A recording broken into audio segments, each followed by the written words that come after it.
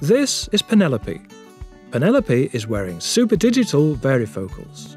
And as you can see, she's very happy about that. On average, people look at their phone just five minutes after waking up, and this can be strenuous on your eyes. And your face.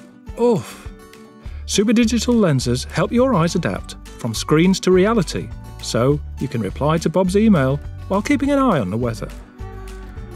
They also help Penelope switch between different digital devices and distances, handy for when Penelope FaceTimes Taylor and binge watches TV at the same time. They also help to keep her glasses clean. Super digital varifocals are pretty super. Find out more in store.